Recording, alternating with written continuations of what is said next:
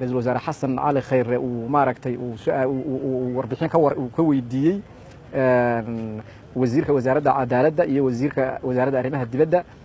inay warbixino ka siiyaan maaragtay maxaabiistii soomaaliyeed ee ku xidhnaa dunida daafaheeda kala duwan oo ay ugu horeeyaan maxaabiistii ku xidhnayd hindiya taasoo meel fiican maraysa oo aan laakiin weli baarlamaanka hindiya la horgeyn halka halkan baarlamaanka golaha wasiirada iyo maaragtay baarlamaanku ay ka ansixiyeen madaxweynuhuna uu saxeexay waxaa la rabaa markaa in baarlamaanka hindiyana in la horgeeyo si ay u ogolaadaan maaragtay in dhallinyaradaas maaragtay xuquuqdoodii loo soo celiyo ama waddanka lagu soo loo ogolaado in maaragtay lagu soo celiyo waddankoodii hooyo waxaa laga hadlay taasoo keliya may ahayn intaanu ajanduhu bilaabmay waxaa kaloo laga hadlay maxaabiista ku xidhan tanzania waxaa kaloo laga hadlay maxaabiista ku xidhan cumaan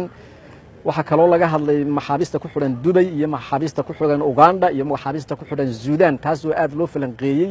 layskuna afgartay maaragtay sidii wax looga qaban lahaa dhallinyarada soomaaliyeed ee meelaha ee maaragtay waddamada kala jaadjaadka ku xidhan sidii waddankooda hooyo loogu soo celin lahaa. Waxaa kale oo uu maaragtay intaan ajanduhu bilaabmin uu ra'iisul wasaaruhu maaragtay uu weydiiyey wasiirka maaliyadda lacagtii maaragtay halka milyan ahayd ee dowladdu ay ku deeqday in la bixiyo maanta kama dambays in la dhammaystiro oo la bixiyo lacagtaas iyada. Ah waxaa kale oo maaragtay aad loo falanqeeyey oo looga hadlay xaaladaha amniga xaaladaha amni ee waddanka oo dhan hadday noqoto dowlad goboleedyada iyo hadday noqoto magaalada caasimadda ahee muqdisho taasoo aad iyo aad loo falanqeeyey oo maaragtay looga hadlay oo lagana ay kana hadleen wasiirada maaragtay wasaaradaha wasaaradahaas ay qusayso maaragtay dhinaca amniga ay qusayso. Waxaa warbixin laga dhegaystay kusimaha agaasimaha maaragtay nabad sugidda oo isaguna meesha shirda maxaan ku dhahdaye warbixin ka siiyey golaha wasiirada. Xaaladda amniga waddanku ku sugan yahay iyo wixii u qabsoomay maadaama ay yihiin iyagu kusameeyaasha maaragtay hadda sii haya maaragtay taliyayaasha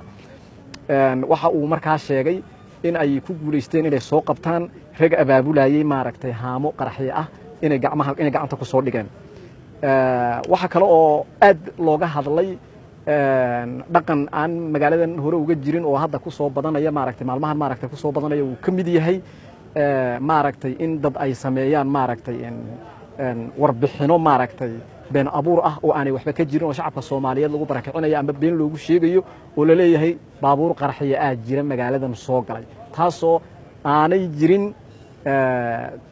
dadka dadka maaragtay ama wasaaradaha ama taliyayaasha u qaabilsan amnigu warbixino ka yimid aan ahayn ee ah warbixino ay dad maaragtay iyagu siyaabo kale maaragtay wuxuu rabaa ay rabaan in maaragtay waddankan ay ku khalqalgeliyaan taasoo maalmo dhoweyd dhacday oo saad la socotaan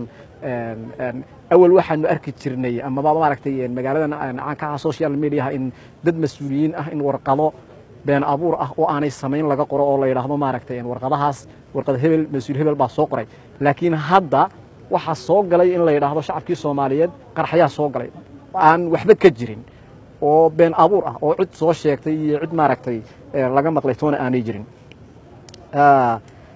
taana waxaa maaragtay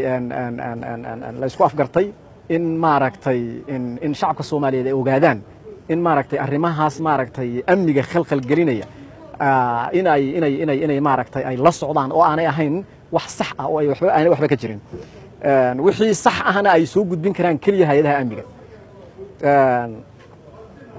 Waxaa kale oo laga hadlay waxaa kaloo laga hadlay oo wasiirka wasiirka wasiirka arrimaha gudaha iyo federaalka iyo dib heshiisiinta ayaa isna waxa uu ka warbixiyey waxa uu ka warbixiyey siyaasaddii waxa uu ka warbixiyey maaragtay sorry waxa uu ka warbixiyey wadahadalladii dowlad goboleedyada iyo dowladda federaalka uga socday magaalada muqdisho oo ku soo dhammaaday guul.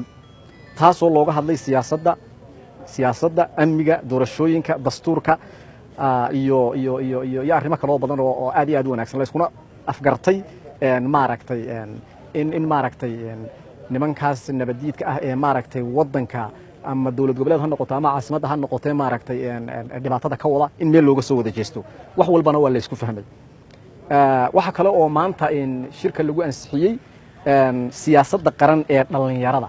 oo ay wasaaradda dhallinyarada ee sportsku ay keentay ayaa la ansixiyey. Waxaa kale oo la ansixiyey siyaasadda qaran ee maaraynta masiibooyinka oo wasaaradda maxaan ku dhahdaye gargaarka iyo maaraynta masiibooyinka iyaduna ay soo gudbisay ayaa la ansixiyey waxa kale oo maanta lagaga hadlay miisaaniyaddii ayaa macnaa loo qeybiyey golaha wasiirada kadib adigu saddex beri ka bacdi waa uun dib baa loogu soo noqon doonaa marka ay soo akhriyaan golaha wasiiradu kadibna waxa ay marin doontaa in la ansixiyay noqon doonta haddii ilaha yidhaahdo laakiin hadda akhrintiibaa ayaa ayaa ayaa lagu jiraa oo waa lasoo akhrinaya intaas ayaan idinla wadaagaya waanad mahadsantihiin